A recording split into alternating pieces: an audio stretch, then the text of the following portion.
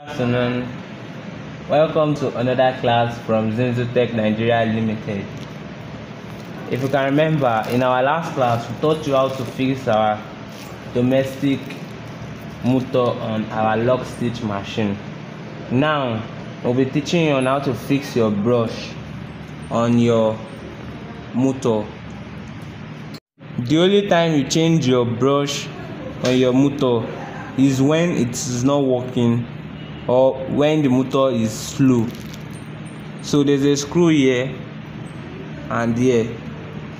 You lose it out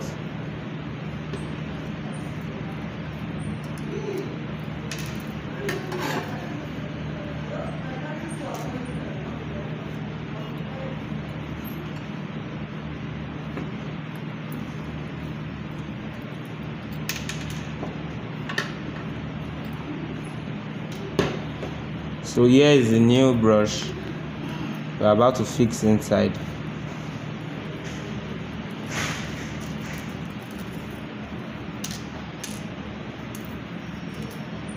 We fix it this way.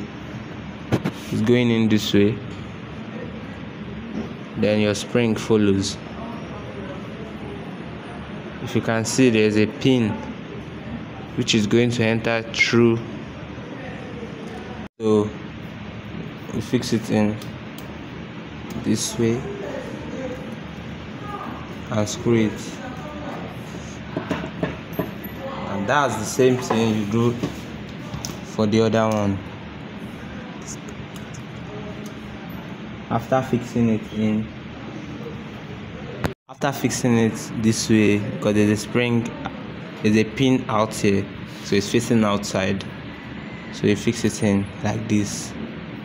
Then pick up your spring. Don't forget there's a pin at the mouth of the screw which is entering through the hole of the spring. Then you pick up your star screwdriver and screw it in